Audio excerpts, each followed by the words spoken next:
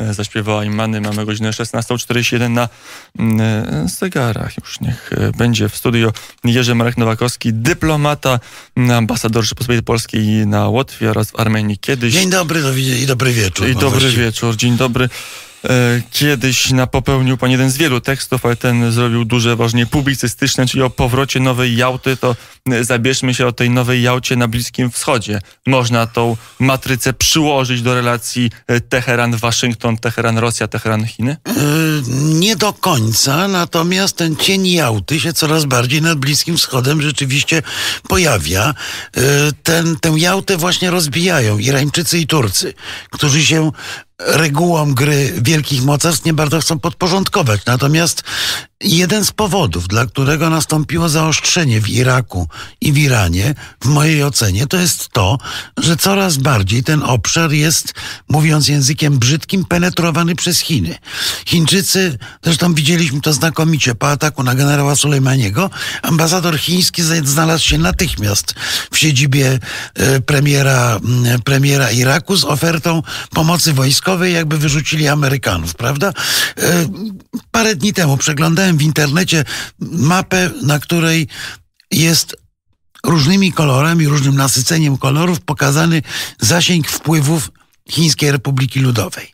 Otóż dwóch największych śmiertelnych wrogów, Iran i Arabia Saudyjska są jednolicie granatowe, jako kraje z bardzo dużymi wpływami chińskimi. Wobec tego ten model neojałtański, model, w którym polityka zaczyna być układana jako głównie gra wielkich mocarstw, na Bliski Wschód też się przedostaje, ale jak mówię, tu jest dwóch poważnych antagonistów. Jednym antagonistą zbiorowym to są mułowie w Iranie, a drugim jest prezydent Erdogan, kompletnie nieobliczalny. A z drugiej strony jest tak, że wzrost potęgi Chin coraz bardziej odczuwalny będzie takie konflikty generował, bo na przykład Teheran powie sobie, ok, mogę więcej, bo za plecami mam poważnego e, partnera, jakim są Chiny, które mogą e, Stany postraszyć. Nie tylko Stany postraszyć. No Chiny mogą kupić od nas ropę, już kupują, są największym odbiorcą ropy irańskiej. Chiny mogą nam dostarczyć uzbrojenie. Chiny być może w pewnym momencie uznają, że im się opłaci dostarczenie technologii atomowych. Pamiętajmy, że w dziwny sposób te technologie dotarły do Pakistanu i do, e, i do Korei Północnej. E, nie jest wykluczone, że ręka chińska w tym była, no bo to są kraje, które są bliskimi aliantami Chin, oba. Wobec tego może się nagle okazać, że to współpraca z Chinami Iranowi się opłaca.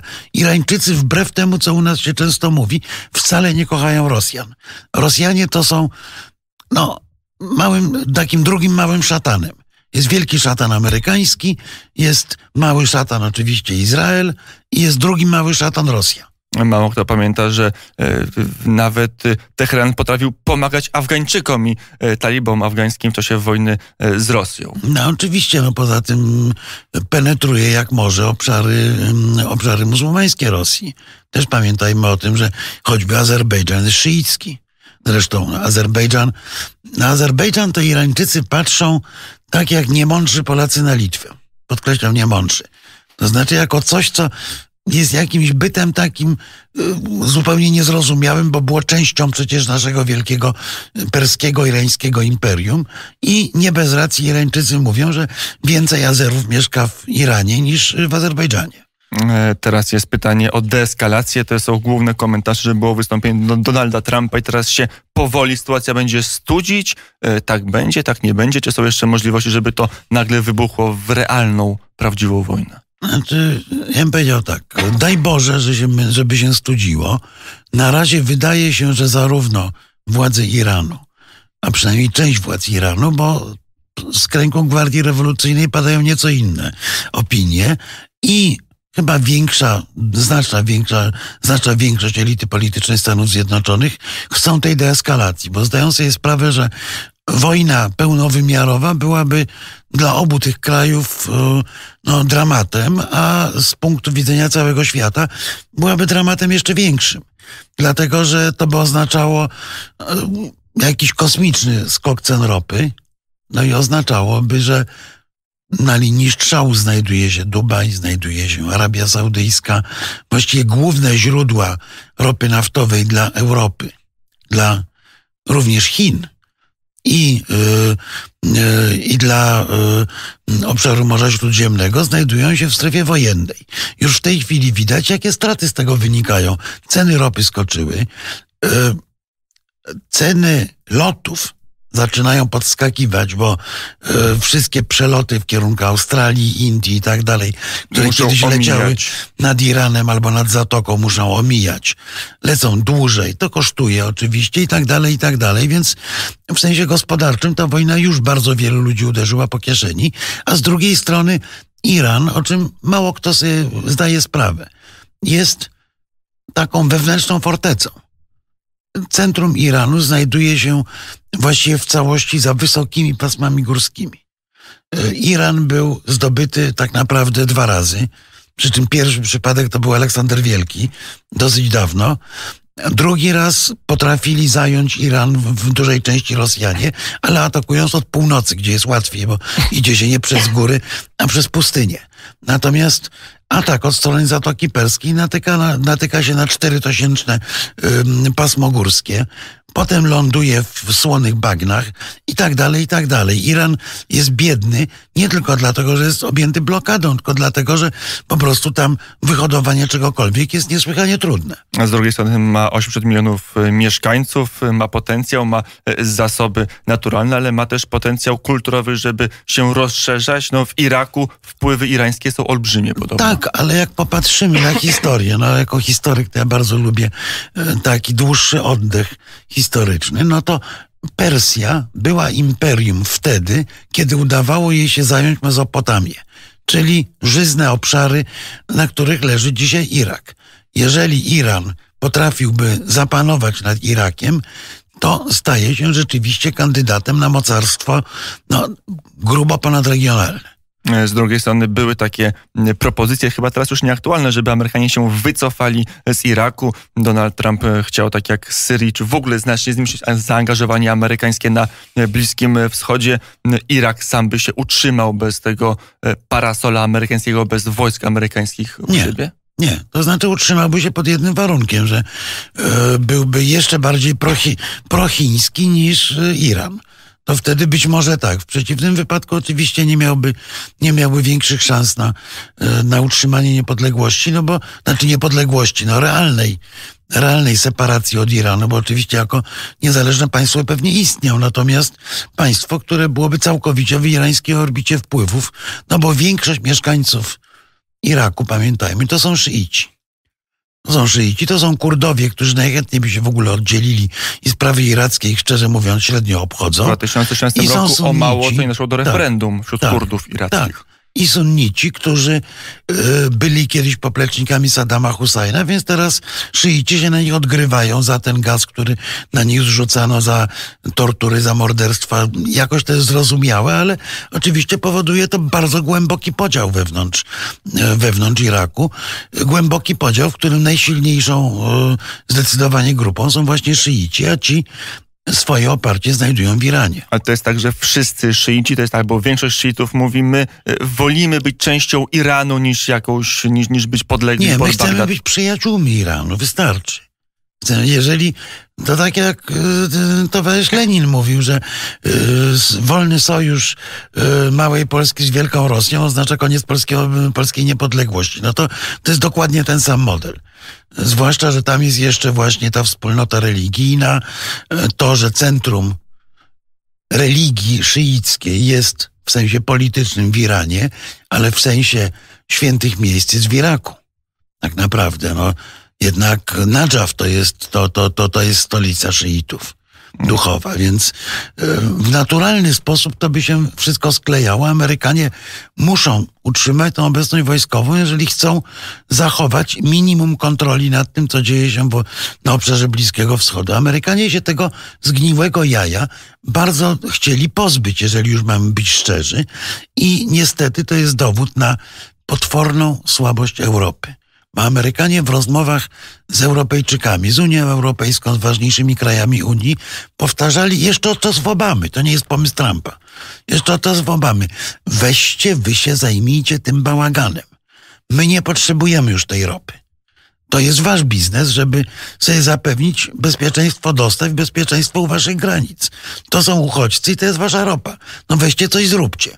Europa oczywiście na to odpowiadała, że my tutaj jesteśmy, prawda, grzeczni, ładni, pokojowi my nie będziemy się wtrącać.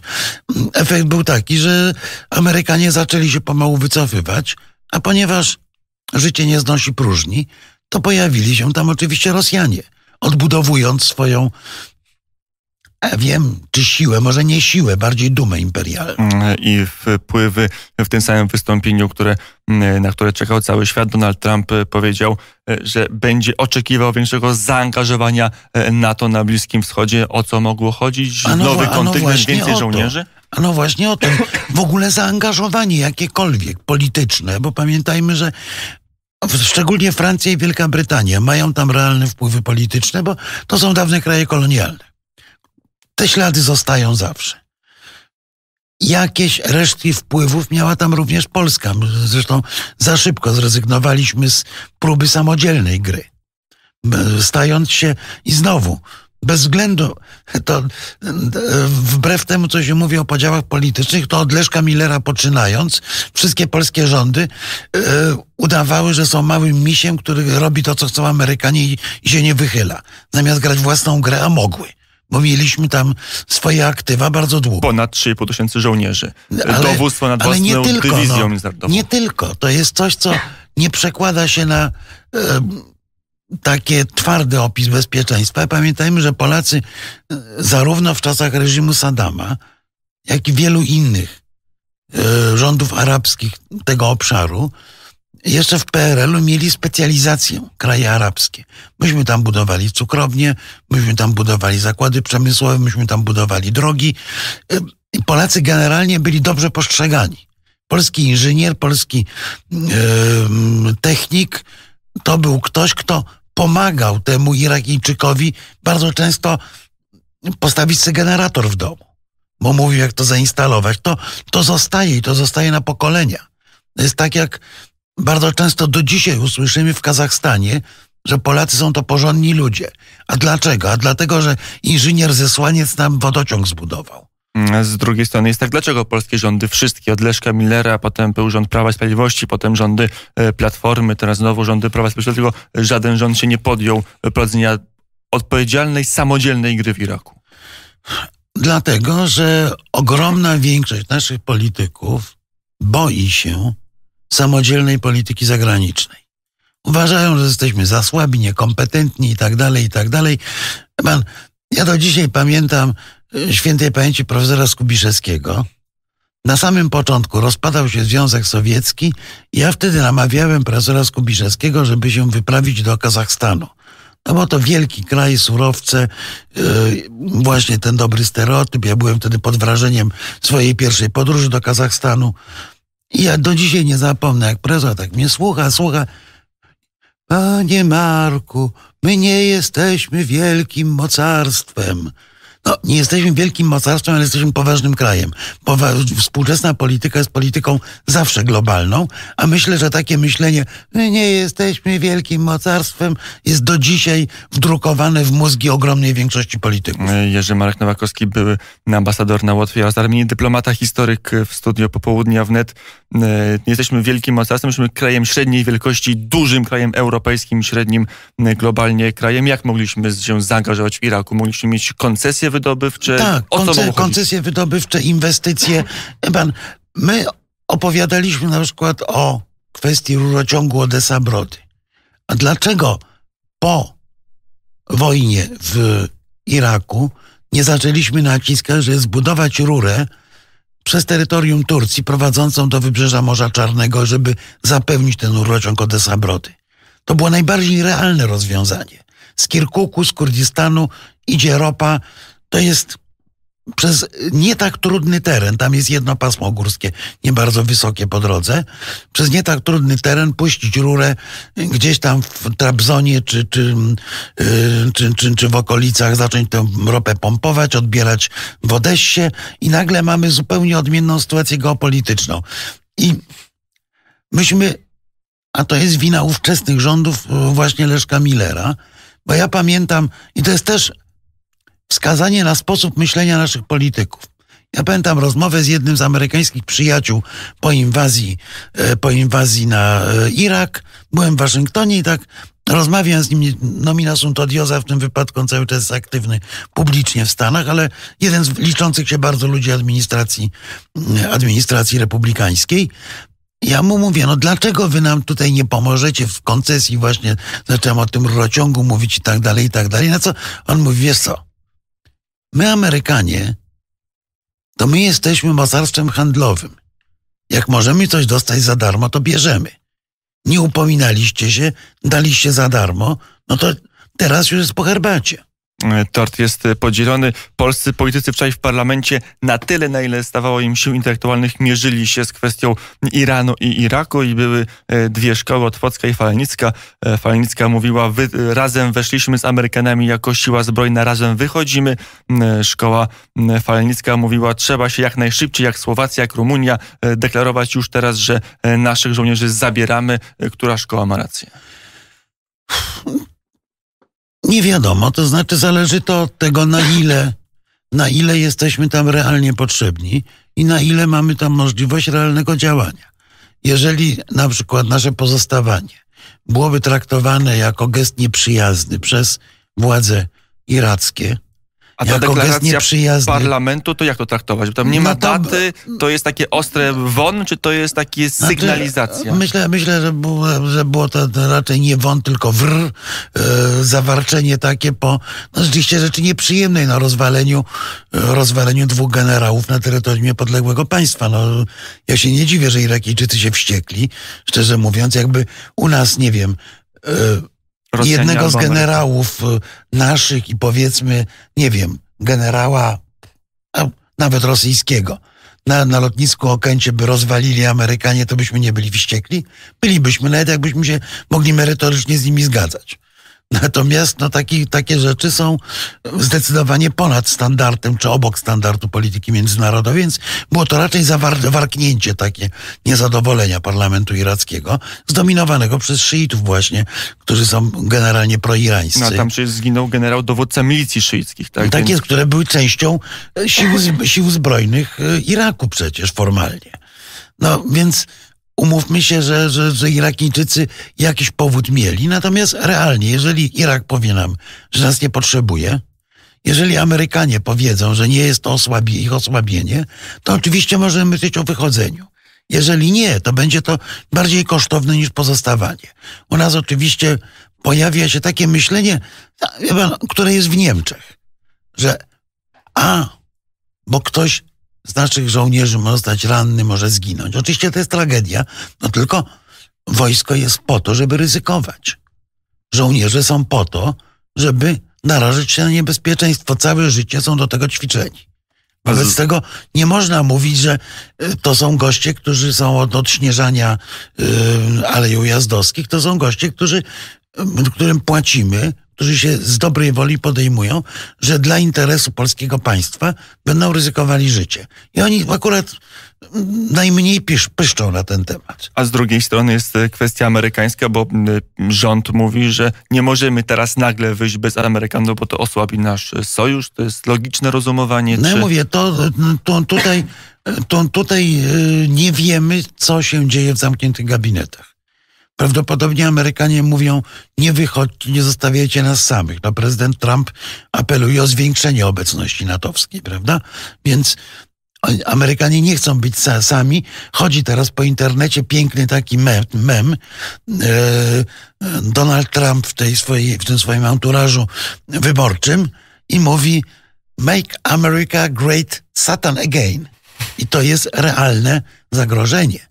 Ameryka znowu dla tych ludów Środkowego Wschodu, bo ja wolę mówić o Środkowym niż o Bliskim Wschodzie, yy, dla tych ludów Środkowego Wschodu znowu staje się tym wielkim szatanem. Wobec tego im bardziej te siły są zdywersyfikowane, im więcej narodów wchodzi w ich skład, tym jest to bardziej akceptowalna siła dla wszystkich, łącznie z Irańczykami. Mm, teraz nie bez kozery przewrotnie to pytanie stawiłem na koniec naszej rozmowy, bo cały czas ja nie rozumiem i nie znajduję na to e, pytanie racjonalnej odpowiedzi, dlaczego akurat teraz Amerykanie postanowili skasować e, faceta, czyli zlikwidować generała Sulejmaniego. Dlaczego w tym momencie, dlaczego tak e, może niemądrze na terytorium Iranu czy Iraku z, z razem z tym generałem irackim. Po co?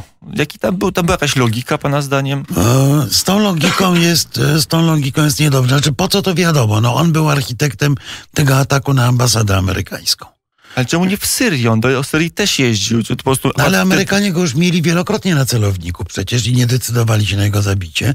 Co więcej, pamiętajmy, że jeszcze parę, paręnaście miesięcy wcześniej generałowie amerykańscy z Sulejmanim siedzieli w Genewie i wspólnie radzili, jak zlikwidować państwo islamskie. To był sojusznik w pewnym momencie dla Amerykanów. Więc e, dlaczego? Ja mam kolejny rysunek z jednej z amerykańskich gazet. Leci samolot, chłopaki skażą na spadochronach, no i tam jeden taki siedzi skulony. Ty młody, nie denerwuj się, to twoja pierwsza kampania wyborcza. Wobec tego być może to jest duża część y, odpowiedzi.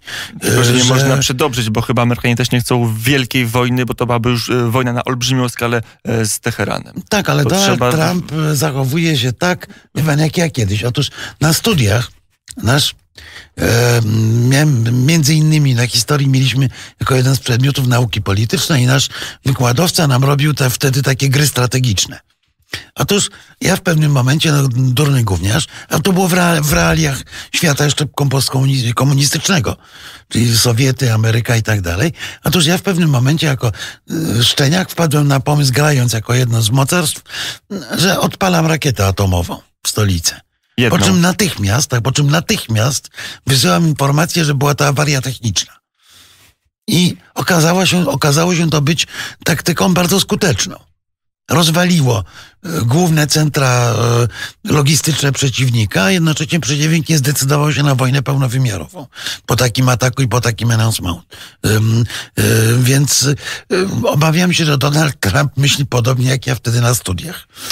Pytanie, czy to jest logika, która daleko zaprowadzi Stany, czy to jest logika, która zapewni pokój na świecie? Znaczy, ja myślę, że Amerykanie tak naprawdę E, bardzo dużo przegrali przez ten atak i przegrali przede wszystkim to, niech pan pamięta, że od połowy listopada e, w Iranie nieustannie trwały gigantyczne demonstracje. Demonstracje, które były wynikiem oczywiście amerykańskich sankcji, bo podrożała benzyna po prostu. Natomiast, no, zabawne, w kraju pełnym ropy podrożała benzyna, ale do produkcji benzyny nie potrzeba jest tylko ropa, tylko jeszcze parę innych rzeczy, których Irańczycy już nie mieli. I technologia. E, I e, w tych demonstracjach Gwardia Rewolucyjna i policja zabiła plus minus tysiąc ludzi, set, wiele tysięcy rannych. Irańczycy byli coraz bardziej wściekli. Czyli krótko mówiąc, jesienią zaczął się realizować ten scenariusz, który chcieli wprowadzić w życie wszyscy prezydenci Stanów Zjednoczonych od Jimmy'ego Cartera poczynając. I tym atakiem żeby, Donald Trump ten proces przerwał. Do, dokładnie, żeby liberalna część społeczeństwa irańskiego obaliła władzę mułów. Otóż zabicie Sulejmaniego natychmiast zjednoczyło Irańczyków e, wokół, e, wokół władzy. No więc e, w sensie strategii było to kontraproduktywne. No ale jak ładnie wyglądało w telewizji. No I to jest właśnie ten moment, kiedy polityka zagraniczna staje się zakładnikiem kampanii wyborczej. Tak, to nie, nie tylko kampanii wyborczej, ale w ogóle polityki wewnętrznej, kampanii wyborczej w szczególności. To niestety jest problem, e, jest to problem generalny bardzo wielu krajów z nami włącznie niestety. E, Jerzy Marek Nowakowski, dyplomata, historyk, był gościem popołudniowny. Dziękuję bardzo. Dziękuję bardzo.